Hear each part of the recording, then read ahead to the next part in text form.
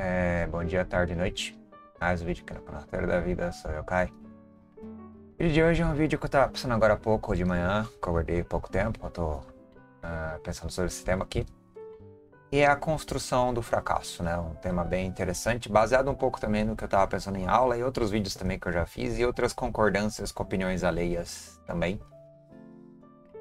Partindo da premissa que a pobreza é, uma, é um projeto, é uma construção também, é um projeto onde você diferencia as pessoas por qualidades e qualifica ela com valores diversos, por quantidades também, né? Quantidades de mérito, quantidades das mais diversas.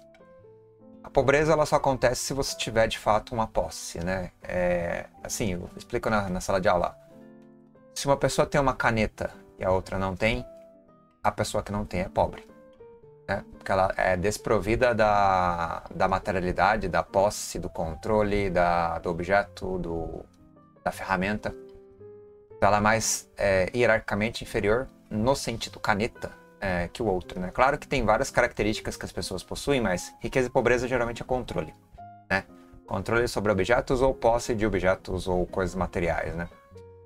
Também você pode pensar em riqueza no sentido de qualidade subjetiva, como felicidade, riqueza na é, familiar, no sentido de ter uma família grande, ter uma família, sei lá, é, culturalmente expoente, uma, é uma riqueza cultural, uma riqueza simbólica, né? entre outras coisas, né? Mas são riquezas subjetivas, né? Mas riqueza tende a ser mais objetivo.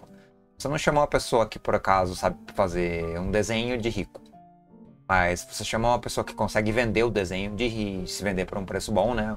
Um cara artista tal, de rico, né? Aí ele vira rico. Porque ele vai ter a troca por um lastro quantitativo financeiro, né? Uma quantidade literalmente numérica. Então, a riqueza é taxado em números, e números são uma linguagem abstrata para qualificar a, a quantidade da realidade. Então, quanto mais rico você é, mais realidade você tem. E por salário também, no caso, né? Então você tem mais realidade, você é mais real, você tem mais densidade, você tem mais credibilidade. E você é mais aceito devido à sua circunstância de. Talvez tenha mais segurança também, mais estabilidade é, é... na própria existência e sobrevivência, né? Na, na, sobrevivência em si. Mas de todo modo, a quantidade ela garante então para você uma identidade e a sua identidade ela tem mais facilidade de ser reconhecida. Pessoas ricas são facilmente reconhecidas porque elas se destacam, elas têm, elas carregam grandes coisas, né? Pessoas pobres são numerizadas e categorizadas sem nomes, né? Elas não têm nenhuma identidade forte. Elas são uma massa e o rico é um indivíduo, então sempre tem uma pirâmide. Os ricos eles são nomeados e os pobres eles são numerados, né? Numerados no sentido de que é uma quantidade de amostragem, sendo que só a quantidade bruta deles conseguem ter algum significado, algum valor, né? Uh, um pobre sozinho é descartável, é reciclável, é decompos... É alguma coisa ser decomposta, alguma coisa que não existe no sentido útil, né?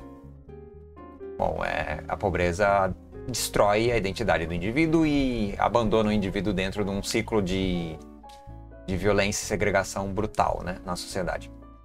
Então a pobreza sempre é um projeto, um projeto onde aquele que se engrandece se sente bem, se sente seguro, se sente poderoso, se sente confiante, se sente existente, perde o vazio, minha uma, uma ganância, uma constância de busca por manter essa posição, esse status. E eu vejo isso com muita frequência. Você sabe na carreira, seu salário muda 200 reais, 300 reais. E você tem uma grande dificuldade em abandonar a ascensão na carreira e voltar para um patamar inferior de salário. Se você está progredindo uma carreira específica, né? Claro que tem demissões e recomeços, né? Mas, enfim, uma carreira específica, você tem grande dificuldade em abandonar a, a hierarquia que você consegue. Aí você vai subindo como, sei lá, você é um professor, aí você vira um coordenador, aí você vira um diretor, aí você vira, sei lá, um. É um supervisor da rede de ensino acima dos diretores, aí vai subindo, né? E o salário, obviamente, aumentando. Né? É a progressão, e essa progressão ela é uma. É um modo de convencê-lo a se manter constantemente aplicado, constantemente dócil constantemente com a esperança de que você efetivando algum tipo de é, vontade, algum tipo de literal é, construção, né? Uma construção constante, um trabalho bem feito, talvez, ou pelo menos uma, a tendência à perpetuação de um, um trabalho funcional, né, é, é, exitoso, em certo sentido, e não cometendo erros ou não sendo é, uma pessoa negativa, você vai lentamente gradando no que você entende por carreira. E aí você vai, entre aspas, é, enriquecendo, né? Esse enriquecimento financeiro também é um enriquecimento de posses de outras coisas. É aí que eu tô dizendo, a construção do fracasso, né? Esse é um ponto meu, porque a construção do fracasso ela começa já no. Como eu disse, a mesma coisa que você tem da pobreza, o fracasso é parecido, né? O fracasso é um empobrecimento ou uma ausência de posse. E aí, quando você não tem posse, você fracassou. Né? Então, na escola é a mesma coisa. Ah, eu sei fazer uma conta de divisão, meu amigo não sabe. Então, ele fracassa e é construído um fracasso porque ele, a identidade dele, a dificuldade dele é tratada como uma fraqueza, tratada como inferior, inferioridade. E aquele que consegue ter êxito, aquele que consegue ser expoente, é um lutador que teve êxito, né? Um grande. Aí o fracasso não é para ele, mas a construção do fracasso é aquele que, em contraste com aquele que teve êxito, não teve o mesmo resultado? A mesma coisa materialmente falando, uma pessoa tem uma caneta, outra não tem, então a construção do fracasso é aquele que não tem caneta é inferiorizado e sofre direta e indiretamente uma pressão na sociedade e se vê em um grau inferior. É um sofrimento infligido de baixo para cima, no sentido de que aqueles que comandam a cultura, que são os adultos, os professores, é, qualificam e organizam como se fosse de fato uma hierarquia, onde quem tem é melhor do que não tem, quem faz é melhor do que não faz, quem consegue fazer mais rápido é melhor do que consegue fazer devagar, quem consegue fazer em maior, maior qualidade e quantidade é melhor do que quem consegue fazer em menor quantidade e qualidade. E você vai criando isso desde o começo. E você cria um sistema de dissolução de identidades, reconsolidação de identidades dentro de sistemas culturais preconceituosos, segregadores, racistas, é, por vezes. Não é só o racismo da cor, mas é, também a, a cor está incluída na, na, na parte de você ter uma estrutura de civilização histórica, de construção de, de prejuízos e pobrezas, de construção do que você entende por desigualdade, né? E aí também é o fracasso, a construção do fracasso, onde as pessoas, só por nascer de uma determinada cor de pele, fracassam circunstancialmente, estatisticamente, mais vezes, né? Em, em, em vezes mais é, agressivas, agressivas não é, mais constantes, mais estruturadas, por assim dizer, né? Então, esse ponto da construção do fracasso é uma construção que você percebe o tempo inteiro durante a vida inteira. Junto, logicamente, da, andando em paralelo com a parte da, da, da, do projeto né, da pobreza. Mas a construção do fracasso, ela, você pode, por exemplo, deixar de ser pobre e continuar sendo fracassado. Agora, você não pode deixar de ser fracassado e continuar sendo pobre. Porque se você é um fracassado, automaticamente você tem menos menos e menos e menos. Agora, se você tem riqueza no sentido de, de acúmulo, você ainda pode ser um fracassado em alguns pontos, mas tem um progresso, né? De acúmulo e esse acúmulo ele é reconhecido. Então, em certo ponto você é bem sucedido, em certo ponto não. Você pode ser rico e fracassado, mas você não pode ser fracassado e rico, né? Porque ou, não tem como você ter um fracasso pleno e ter uma posse da riqueza, por assim dizer. Então, nesse ângulo é muito interessante a construção do fracasso. Eu vou exemplificar com, com alguns exemplos particulares, né? Eu demorei a aprender a fazer conta de matemática, então eu fracassei por um bom tempo. aprendi a ler e tal, mas não sabia fazer matemática, era ruim em matemática. Por ter dificuldade nos primeiros anos de matemática, isso foi é, um trauma que eu carreguei para o resto da vida. É, aí na quinta série eu já tinha um pouco mais de facilidade, mas ainda não tinha confiança. Aí eu aprendi a decorar e a fazer por tabela é, entendimentos lógicos, né? Eu entendia os problemas e decorava como fazia, aprendi os macetes, fazia as contas básicas, que era o que você precisava para resolver os problemas. Mas é, eu nunca fui um conhecedor ou um fluidor na área de exatas, porque o meu fracasso foi construído junto à minha ineficiência em dominar essa técnica intelectual na, na primeira infância, na infância mais inicial, no aprendizado inicial.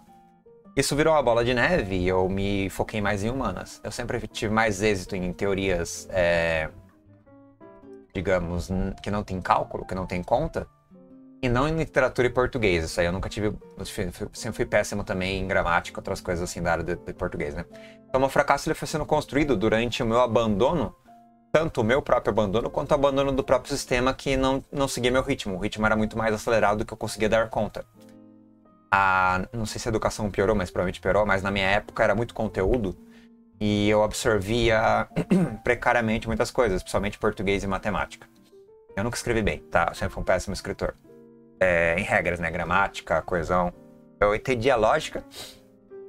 Tá vendo? Tá foda. Eu entendi a lógica, mas eu não conseguia é, dominar completamente o conhecimento. Eu apenas usava, ele era um usuário, né? Ainda sou um usuário até hoje de matemática e português, né? As, as regras gramaticais, essas coisas que eu nunca consegui aprender uma língua nova, como inglês, francês ou sânscrito, entre outros que eu estudei chinês também. Eu nunca consegui aprender direito uma língua nova porque eu não entendia e ainda não entendo a. E essa, uma confissão mesmo, não entendo as dinâmicas da, das métricas ali linguísticas, né?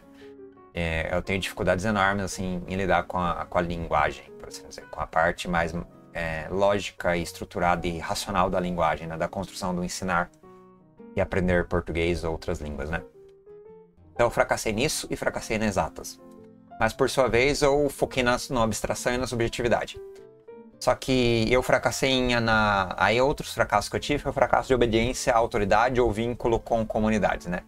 Vínculo com bolhas, vínculo com valores, vínculo com ideologias, eu sempre fui é, segregado e abandonado, ou mesmo me abandonei também, me segreguei, em grande parte durante a vida, no sentido de que eu me afastava da, dos grupos, né? Eu não dava muito valor para as coisas, então eu conseguia sempre estar meio neutro em cima do muro, ou distante o suficiente para não inter, interagir com uma, uma, um pertencimento àquela área, sabe? Eu nunca pertenci a área nenhuma. Nunca tive um grande vínculo é, com a religião. Nunca tive grande vínculo com é, a valoração da expressão artística, ou da expressão intelectual, ou da expressão moral. Eu nunca tive nenhum vínculo assim com defender pautas morais, mesmo que sejam pautas progressistas. Apesar de na faculdade eu ter abraçado né, um ângulo, mas não era abraçar um ângulo cegamente, era abraçar um ângulo sabendo que ele era apenas transitório, efêmero e circunstancial, por assim dizer. E nesse sentido, eu fui fracassando em me vincular socialmente com os grupos, é, digamos, de, de culto, né, de cultivo de certas tradições intelectuais ou certas tradições de comportamento ou certos manejos sociais de vida, né? E isso me excluindo novamente durante a vida inteira, eu estou me excluindo sempre das relações ideológicas, é, de conhecimento ou morais. Eu fui perdendo os vínculos de de afeto com os outros, né? Não tem tanta importância na vida deles. Eu fui lá, consegui terminar o colegial, né? Então, teoricamente, eu não fracassei na escola, mas fracassei no sentido de que eu nunca tive as maiores notas. Eu fracassei no sentido de que eu saí de lá sem dominar português e matemática como eu deveria dominar. Eu saí de lá forçando a barra e caindo no mercado de trabalho onde não tinha nenhum tipo de formação a não ser o diploma de ensino médio, uma experiência pífia de trabalho, e eu fracassei em várias entrevistas de emprego. Todas, na verdade. Eu nunca consegui um emprego por entrevista. Nunca. Tirando o guarda-mirim uma vez, que foi uma coisa que foi convocação, né? Então, tipo, era fácil de pegar o trampo. Todas as entrevistas de emprego que eu tive na minha vida foram várias, mais de 10. Eu fracassei miseravelmente. Então, a construção do meu fracasso foi eu não ser apto, não ter a característica, a qualidade necessária para conseguir vencer os candidatos e concorrentes. Por sorte, eu dei sorte em passar no vestibular, né? Eu estudei e tal, e nesse sentido, a, aí a construção do, do, do, sucesso, né? Nesse caso, é, onde o fracasso ficou para segundo plano, foi que eu consegui entrar na faculdade, né? Mesmo que eu tenha fracassado no curso, porque eu não escolhi o curso que eu queria, escolhi um curso secundário, que é o curso que eu queria, eu sabia que eu ia fracassar. Eu, a construção do meu fracasso era, eu não dou conta de acertar tantas questões assim, e eu tô limitado a esses vestibulares, a essas faculdades, e eu me limitei também, eu me limitei em um perímetro, não sei se foi por porque eu queria também entrar nas faculdades melhores, faculdades possíveis, né, por ego, né, talvez por vaidade, mas também por logística, porque era próximo. Eu precisava entrar num local que eu conseguisse estar morando perto. E aí, por estar numa transição ali de, de cidade, a faculdade que eu consegui foi a USP, que era a mais próxima da cidade, era mais interessante, sim, e o curso que eu consegui entrar também filosofia em vez de psicologia, que eu queria primeiramente, né? Mas aí eu sabia que eu não ia conseguir psicologia, fui direto para filosofia. E, tipo, é, essa construção desse projeto de, de, de vida, por assim dizer, foi um fracasso e um sucesso ao mesmo tempo, porque eu fracassei naquilo que teoricamente seria o adequado para mim, o que eu desejava inicialmente, mas tive sucesso parcial e esse sucesso parcial me levou à faculdade, na qual eu consegui manter um nível equilibrado e fracassei algumas vezes, né, notas baixíssimas, é, passando, raspando em várias, né, e fracassei no sentido de não pertencer ao lugar. Não sou classe média, não sou erudito, não tenho vínculo com moral ou intelecto, não tenho vínculo com partidos é, de construção de valores dos mais diversos. Fiz amizades, perdi amigos, é, debati bastante, tenho alguns amigos ainda, mas aí eu fui abandonado. Por quê? Porque você, para entrar na faculdade, você só é reconhecido se você continuar na faculdade. Você continuar estudando academia, se você sair da iniciação científica e for para o mestrado, na minha área, né? Se for para mestrado, doutorado, é uma progressão normal. Quem termina a graduação e não volta, é fracasso. Eu sou um fracassado, eu sou um aborto, eu sou um segregado da faculdade pelos meus amigos também, mesmo que seja indiretamente, eles nem têm consciência disso.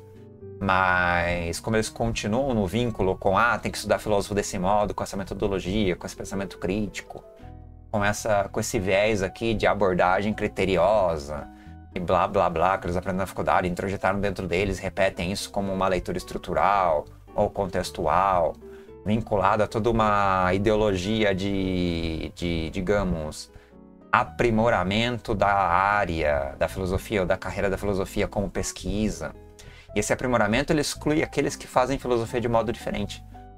Então, a mesma coisa que eles tentavam angariar, que era a inclusão de métodos diversos na filosofia que eram excluídos pela filosofia tradicional acadêmica, eles fizeram os mesmos erros e cometeram os mesmos erros ao excluírem um outro tipo de filosofia, que é a filosofia não acadêmica que é a filosofia espontânea do pensamento, hum, digamos, potencial dos indivíduos livremente.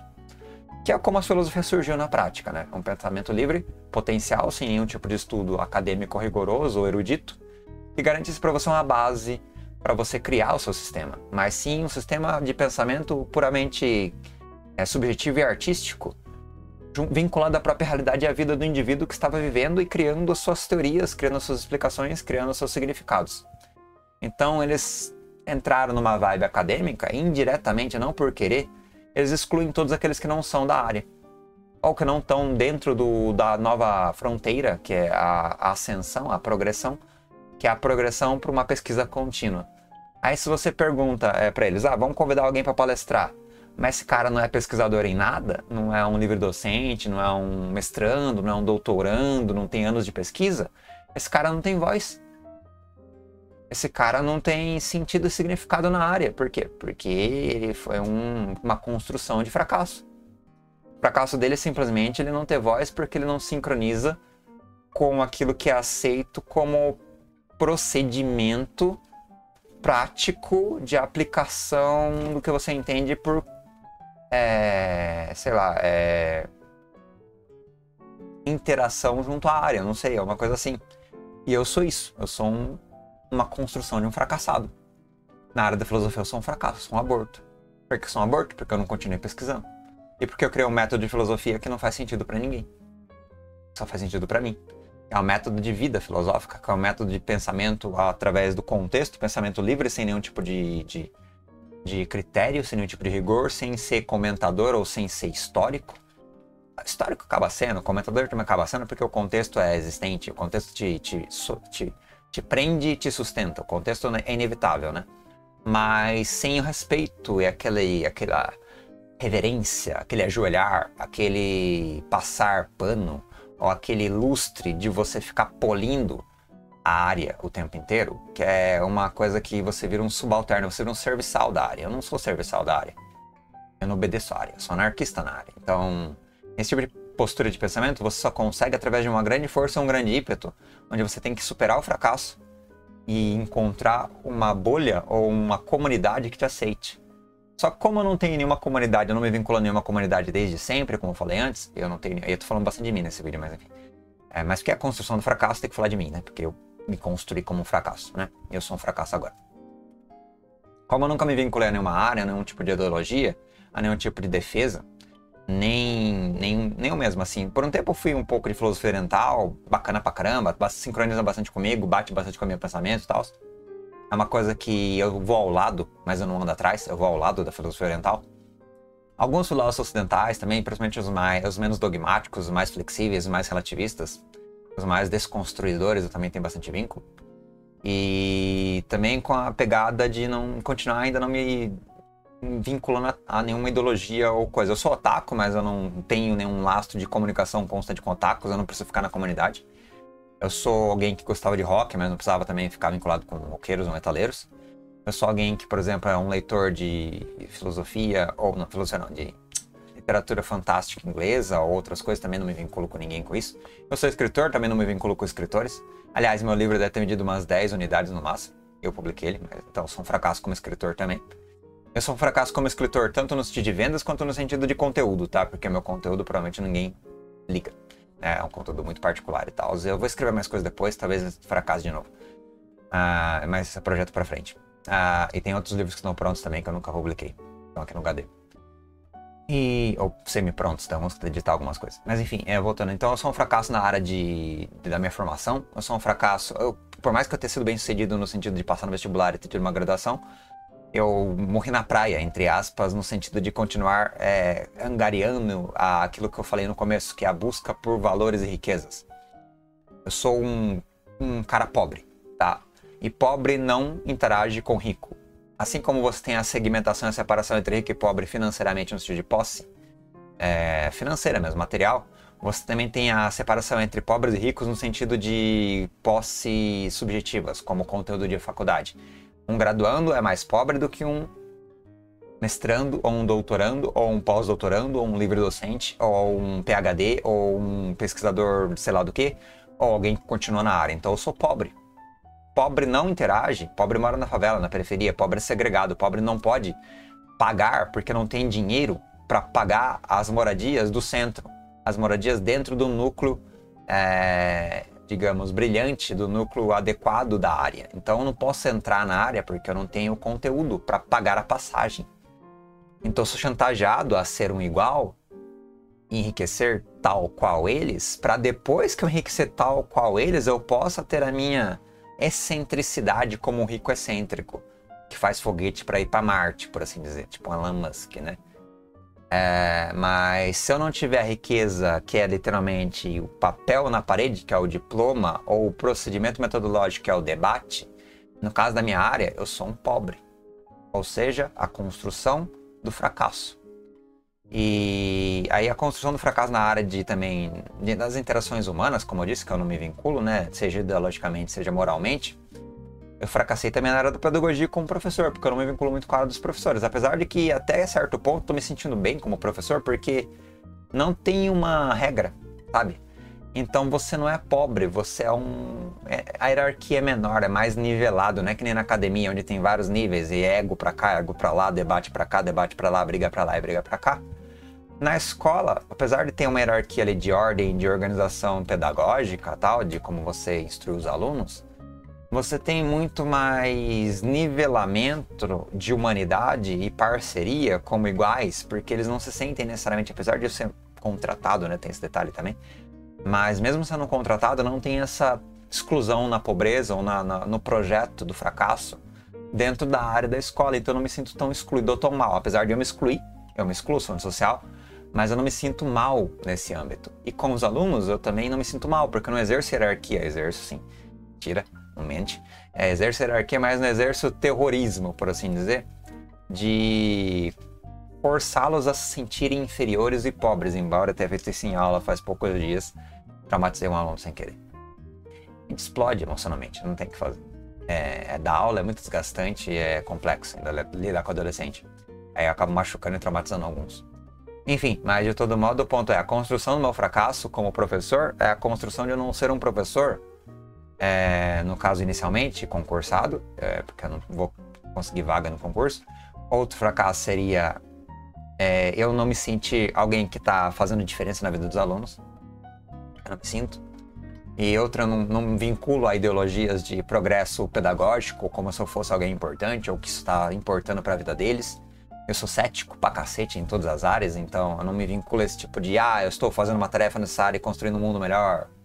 Não. Então, meu projeto de fracasso é um alto fracasso no sentido de não aderir a. Não aderir a, digamos.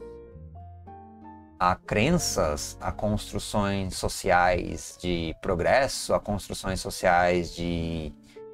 Eu não sei nem a palavra para descrever isso, mas eu não funciono. Tá? Então eu sou de fato um projeto e uma construção de um fracasso constante. A vantagem do fracasso constante é que eu posso fracassar infinitamente. E, e é melhor até porque tem mais chance de fracasso do que de êxito. Êxito é uma coisa que é muito efêmera, muito pontual e te deixa engessado, dogmatizado, porque o êxito ele te dá uma estabilidade, né? Ele te dá um conforto. O êxito ele te prende a, uma, a um comportamento, a uma roupagem, a um estilo, uma estética, um status. E o fracasso não. O fracasso é liberdade plena. Você pode fracassar, errar a conta, você acerta a conta com um resultado só, mas quantos erros tem? Tipo, mais um é igual a dois. Mais um mais três é igual a dois? Não. Um, um e meio mais três é igual a dois? Não. Então, fracasso é infinito. E eu tenho muito mais abordagens infinitas de, de fracassar miseravelmente nas minhas, nos vídeos aqui, falando das aleatoriedades. Eu posso fracassar infinitamente, eu vivo infinitamente, muito mais, de maneira muito mais livre, muito mais liberta, cognitivamente, conscientemente, do que as pessoas que buscam proteger o sucesso. Então, o fracasso é a melhor coisa para mim na minha vida. Tá? não aderir a círculos morais, círculos ideológicos mais diversos, círculos intelectuais mais diversos, para mim é muito mais positivo do que ficar preso à defesa de um território. Tá que eu não estou dizendo que eu não defendo um território, tem território que eu acabo defendendo, por livre espontânea pressão, né, por livre espontânea necessidade, ou por tolice mesmo, porque às vezes você vai lá e defende, entendeu? Por arrogância, por ego, ou por parceria, né, porque você é amigo de alguém, defende alguém porque é parente parecido, né? Aquela coisa de socialização, você defende os amigos, os semelhantes, né? Mas, meu, a construção do fracasso te dá uma potência criativa na filosofia muito maior do que qualquer tipo de leitura correta na academia ou nas outras áreas também. A filosofia ainda é mais livre porque na filosofia, na filosofia na ciência exata, né? A ciência exata, nas ciências, ela tem lá a hipótese, a teoria, mas ela acaba se prendendo em pilares e axiomas necessários para poder fazer sentido. Na filosofia também tem axiomas e pilares necessários para fazer sentido, né? principalmente no estudo acadêmico. Mas quando você abandona tudo isso e faz que nem eu faço, é, tá quando eu abandono 100%, obviamente que não, porque senão eu faria, eu falaria uma linguagem insana e ninguém entenderia nada, porque o meu de linguagem seria completamente desvinculado da realidade. Mas eu consigo ter mais flexibilidade, mais maleabilidade, mais potência criativa até certo ponto, de abordagem do que as pessoas que precisam seguir métodos. Apesar de vocês perceberem que eu já tenho um método no canal, que são os siglas, né? É circunstancial, assim, é a metodologia de leitura das frases de Star Wars ou de anime é uma coisa bem fechada. Em filosofia viva não é, filosofia viva é totalmente aberto mesmo, é espontâneo pra cacete. Já em anime é bem fechado, é review do anime, fala do anime tal ângulo, tem, tem um monte de macete, um monte de vício de linguagem, vício de análise que eu tenho ali já. Eu sei, eu tenho consciência dos vícios que eu tenho. Mas eu fico meio assim, como é que eu mudo a análise? Como é que eu faço? Cada review é diferente, mas é, sempre tem um método mais ou menos cíclico, mais ou menos viciado, né? Em todo modo, essa é a construção do fracasso. E aqui eu consegui, por tabela, me auto-engrandecer, porque o fracasso é a melhor coisa que tem na minha vida. Sim, dói, tá? Dói você não ter, não ser aceito pelos outros, não, não falar com os outros, não ser respeitado por ninguém não estar no círculo de relações porque você é diferente ou tóxico, é, principalmente no sentido hierárquico da coisa, né, que é o de formação no meu caso. Ah, da profissão, por enquanto, tá, tá tranquilo até, tá de boas. É cansativo pra cacete, mas tudo bem. Da parte de autores de livros, isso aí é extremamente hierárquico, extremamente nojento, então esquece, isso aí é só expressão subjetiva, é muito fodida essa área, muito tos, tosca pra cacete. Na, o campo de entretenimento é muito dogmático, né? Você sempre tem muita, muita opinião, muito rancor, muito debate, que é muito, muita energia negativa, né? Então eu não gosto de interagir muito com o otaku. É, ou com pessoas que gostam das coisas que eu gosto, eu gosto de ficar mais distante, assim, né? Apesar de fazer review das coisas, eu não gosto de ficar interagindo é, muito. É... Bom, se quiser debater comigo, eu não vou, não vou fugir do debate nem nada, porque eu faço aqui para debater mesmo também, os vídeos e tal mas eu tenho um afastamento de dogmas, né? Tento não ter dogmas, pelo menos eu acho. De todo modo, é, o ponto é, eu positivei o fracasso, tá? Positivei por quê? Porque a minha perspectiva é aceitar a minha identidade. A minha identidade é não ter sucesso. Eu sou um projeto. Fracasso proposital em grande parte. Proposital e circunstancial, porque minha vida inteira acabou direcionando para isso, tá? Minha vida inteira é um, toda uma história de isolamento, exclusão, de sofrimento social, sofrimento em relacionamentos afetivos, é, sofrimento em todos os tipos de amizade ou contato humano, e, e, entre outras coisas, mas que construíram a minha liberdade intelectual de, de abordagem, tá? Que não vale nada. Como meu livro vai vender 10 cópias, né? 10 cópias numa edição pífia também. Então eu não, valo, eu não tenho valor nenhum, eu sou completamente descartável. E eu até fico feliz porque é, o universo é descartável, tudo energia é descartável. Quando é descartável é o ser humano e a espécie humana, né? Esse vento tá me deixando com rinite.